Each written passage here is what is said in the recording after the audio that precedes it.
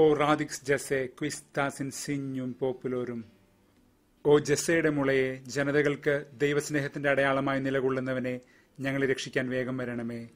ഇന്നത്തെ ഓ പ്രവണിതമാണിത് ഏഷ്യ അധ്യായങ്ങൾ പതിനൊന്ന് നാൽപ്പത്തിയഞ്ച് അമ്പത്തിരണ്ട് മിക്ക അഞ്ച് രണ്ട് റോമർ പതിനഞ്ച് പന്ത്രണ്ട് എന്നിവയൊക്കെ ആധാരമാക്കിയതാണിത്. കുറ്റിയേറ്റുപോയ ജസ്സയുടെ വംശത്തിൽ നിന്ന് ദൈവം പുതുനാമ്പ് മുളപ്പിക്കുന്നു ദാവിദിന്റെ പിതാവാണല്ലോ ജസ്സെ ദാവീദിന്റെ രാജവംശം ചരിത്രപരമായ അർത്ഥത്തിൽ എങ്ങനെ കുറ്റിയേറ്റുപോയി എന്ന് ഇന്നലെ നാം ധ്യാനിച്ചതാണ്. ഇന്ന് ഒന്നാം വായന നമുക്കെല്ലാം സുപരിചിതനായ സാംസൺ എന്ന ന്യായാധിപനെ കുറിച്ചാണ്. ഫ്രാൻസിസ് പാപ്പ തന്റെ ഏറ്റവും പുതിയ കൃതി കഴിഞ്ഞ ദിവസങ്ങളിൽ നാം കണ്ടുമുട്ടി വരുന്ന ലെറ്റസ്റ്റ് ഡ്രീം എന്ന ഗ്രന്ഥത്തിൽ സോളമനോടൊപ്പം ചേർത്ത് വായിക്കുന്ന ഒരു കോവിഡ് അനുഭവമാണ് സാംസന്റെ ജീവിതവും. പാപ്പ പറയുന്നു അസാമാന്യമായ കരുത്തിലും അതിദുർബലമായ ഒരു മർമ്മസ്ഥാനം പേറിയവനാണ് സാംസൺ. അവൻ വശീകരിക്കപ്പെട്ടു ബന്ധനസ്ഥനായി വഞ്ചനയിൽ വീണു. പക്ഷേ സമയമെടുത്തിട്ടാണെങ്കിലും അവൻ അവന്റെ ശക്തിയും വ്യക്തിത്വവും വീണ്ടെടുത്തു.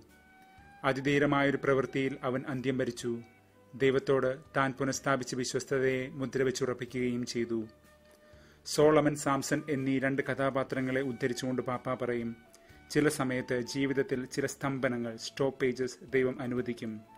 ആത്മനിർവൃതിയിലും സ്വാർത്ഥമോഹത്തിലും അഭിരമിക്കുന്ന നമ്മുടെ സുഖവാസത്തെ ഒന്ന് തടസ്സപ്പെടുത്താൻ തന്നെ.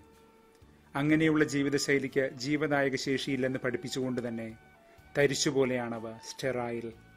വന്ധ്യത എന്നൊരർത്ഥം കൂടിയുണ്ടതിന് മക്കളില്ലാത്ത അവസ്ഥ വന്ധ്യത സ്റ്റെറിലിറ്റി അതിനാൽ തന്നെ ദൈവശാപമോ ശിക്ഷയോ അല്ലെങ്കിലും അതൊരു കടുത്ത പ്രതിസന്ധിയായി മനസ്സിലാക്കുന്ന രീതി പഴയ നിയമ സംസ്കാരത്തിലുണ്ടായിരുന്നു അതുകൊണ്ടാണ് വന്ധ്യയായവളുടെ ഉദരം തുറന്നുകൊണ്ട് ദൈവം പഴയ നിയമത്തിലെ പല വിശ്വാസവീരന്മാരെയും ജനിപ്പിക്കുന്നത്. ഇന്ന് സാംസന്റെ ജനനവും അപ്രകാരമാണ്. സാമൂൽ പ്രവാചകനും അങ്ങനെ തന്നെ. ഇന്ന് ലൂക്കാസു വിശേഷകന്റെ വിവരണത്തിൽ സ്നാപകന്റെ ജനനവും മറ്റൊന്നല്ല. വന്ധ്യ ഉദരഫലം പേറുന്നു.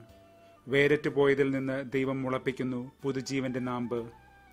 വേരറ്റ് പോയതിൽ നിന്ന് ദൈവം പുതുജീവന്റെ നാമ്പ് മുളപ്പിക്കുന്നതിന്റെ ഒരു സൂചകം തന്നെയാണിത്. സാംസൺ സാമുവൽ സ്നാപക യോഹന്നാൻ എന്നിവരെ കോർത്തിണക്കുന്ന മറ്റ് പ്രധാന സവിശേഷതകളുമുണ്ട്. അവർ നാസീർ വ്രതക്കാരായിരുന്നു നാസീർ വ്രതം എന്ന അനുഷ്ഠാനത്തെ സംഖ്യ ആറ് ഒന്ന് മുതൽ ഏഴ് വരെ ഭാഗങ്ങൾ വ്യക്തമാക്കുന്നുണ്ട്. നാസീർ വ്രതം ഐച്ഛികമായ ഒരു ജീവിതശൈലിയാണ്. പക്ഷേ അത് സ്വീകരിക്കുന്നവൻ നിർബന്ധമായും സ്വീകരിക്കേണ്ട ചില നിഷ്ഠകളുണ്ട്. താൽക്കാലികമായോ നിത്യമായോ അത് സ്വീകരിക്കാം. സാംസൺ സാമുവൽ യോഹന്നാൻ എന്നിവർ നിത്യനാസീർ വ്രതക്കാരായിരുന്നുവെന്ന് കണക്കാക്കപ്പെടുന്നു. അവരുടെ അന്ത്യങ്ങൾ ദാരുണമായി പലപ്പോഴും നമുക്ക് തോന്നിയേക്കാം. സാംസൺ കൊല്ലപ്പെട്ടു സ്നാപകനും കൊല്ലപ്പെട്ടു. സാമുവലാകട്ടെ താൻ അവരോധിച്ച രണ്ട് വ്യക്തികൾ സാവൂളും ദാവീദും പരസ്പരം ജീവന് വേണ്ടി പതിയിരിക്കുന്നത് കണ്ട് വ്യസനപ്പെട്ടാണ് മരിച്ചതും. പക്ഷെ ദൈവത്തിന്റെ പദ്ധതികളുടെ നലം തികഞ്ഞ സംവിധായകരാണവർ. അവർ ദാവീദിനും ദാവീദ് പുത്രനായ മിശിഹായ്ക്കും വഴിയൊരുക്കി. നിത്യനാശീർവ്രതം മാതാവിന്റെ ഉദരം മുതലെയുള്ള തെരഞ്ഞെടുപ്പിന്റെ ഒരു സൂചന കൂടി പേറുന്നുണ്ട്. ഉദരത്തിൽ വെച്ച് തന്നെ തിരഞ്ഞെടുത്ത് നമ്മെ അവരോധിക്കുന്ന ദൈവം. ഇന്നത്തെ വായനകളിൽ സാംസന്റെയും സ്നാപകന്റെയും ജനനത്തെക്കുറിച്ചുള്ള ദൈവദൂതിൽ അത് വ്യക്തവുമാണ്. ഇന്നത്തെ സങ്കീർത്തനം ഇതിന്റെ വെളിച്ചത്തിൽ നമുക്ക് അനാവരണം ചെയ്യാം. ദൈവം നമ്മെ അമ്മയുടെ ഉദരത്തിൽ വെച്ച് തന്നെ വിളിച്ച് വിശുദ്ധീകരിച്ച് ഉറപ്പിച്ചു. ദൈവം ഈ വിശ്വസ്തതയിൽ അജഞ്ചലനാണ് ഒരിക്കലും അവസാനിക്കാത്ത അവന്റെ വിശ്വസ്തത. എന്നാൽ ഈ ജീവിത വീതിയിൽ നാം നടക്കുമ്പോൾ ദൈവത്തോട് കാണിക്കേണ്ട വിശ്വസ്തതയിൽ നമുക്ക് പല സ്തംഭനങ്ങളും ഉണ്ടാകും. ആദ്യമേ നാം കണ്ടതുപോലെ സ്റ്റോപ്പേജസ് ചിലപ്പോൾ ജീവിതം പോലും ദാരുണമായി ഒടുങ്ങിപ്പോയി എന്ന് തോന്നും സാംസനെയും സാമുവേലിനെയും സ്നാപകനെയും പോലെ. പക്ഷേ തന്റെ വിശ്വസ്തത ദൈവം ഒരിക്കലും കൈവിടില്ലല്ലോ. ദൈവം എപ്പോഴും പുതുമുളകളെ കിളിർപ്പിച്ചുകൊണ്ടേയിരിക്കുന്നു. ഇന്ന് സങ്കീർത്തനവും അതുതന്നെയാണ് അവികലമായ ദൈവിക നീതി സെതക്ക അചഞ്ചലമായ ദൈവിക വിശ്വസ്തത എന്നിവയിൽ ശരണപ്പെട്ടുകൊണ്ട് സങ്കീർത്തകൻ ആഘോഷിക്കുന്നു. സങ്കീർത്തനം എഴുപത്തിയൊന്ന്. അമ്മയുടെ ഉദരത്തിൽ വെച്ച് തന്നെ ദൈവം മെനഞ്ഞതും അറിഞ്ഞതുമാണ് നമ്മെ. യൗവനത്തിൽ അവിടുന്ന് നമ്മെ വഴി നടത്തി. ഇനി വാർദ്ധക്യത്തിൽ ജീവിതാന്ത്യത്തിൽ ദൈവത്തോട് വിശ്വസ്തനായിരിക്കാൻ ദൈവത്തിന്റെ പുകൾ പാടാൻ തന്നെ അനുവദിക്കണമേ എന്നാണ് സങ്കീർത്തകന്റെ പ്രാർത്ഥന. ഇതൊരു മനുഷ്യായുസിന്റെ രേഖ മാത്രമല്ല ആത്മീയമായ ഒരു യാത്ര കൂടിയാണ്. ആദ്യന്തം മാറ്റമില്ലാത്ത അനന്തമായ ദൈവിക വിശ്വസ്തയോടൊപ്പം പരിമിതരായ നമ്മുടെ മനുഷ്യജീവിതവും ആദ്യന്തം സഹയാത്ര ചെയ്യണമെന്നാണ് ഈ സങ്കീർത്തനം നമ്മെ പഠിപ്പിക്കുന്നത്. ആദ്യകാല സഭാപിതാക്കന്മാരിൽ പ്രധാനിയായിരുന്നു വിശുദ്ധ പോളികാർപ്പ്.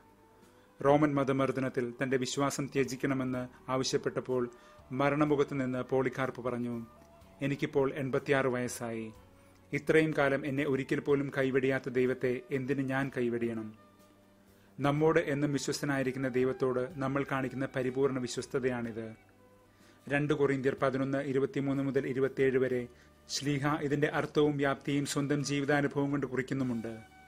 കഴിഞ്ഞയാഴ്ച ശ്ലീഹ നമ്മോട് പറഞ്ഞല്ലോ എപ്പോഴും സന്തോഷിക്കാൻ. ഫിലിപ്പിയർക്ക് എഴുതിയ ലേഖനമാണത്. ഫിലിപ്പിയയിൽ വെച്ചാണ് ശ്ലീഹ മാരകമായി പ്രഹരിക്കപ്പെട്ടതും തടവിലാക്കപ്പെട്ടതും. എങ്കിലും മറ്റേത് ലേഖനത്തിലും കാണാത്തത്ര ആവർത്തി ഒരു വാക്ക് ഫിലിപ്പിയർക്ക് എഴുതിയ ലേഖനത്തിൽ കടന്നു വരുന്നുണ്ട് ആനന്ദം എന്ന വാക്ക്. അത് കേവലം ഒരു വാക്ക് മാത്രമല്ല വാക്ക് തന്നെയായ ദൈവത്തിന്റെ വാക്കാണ്.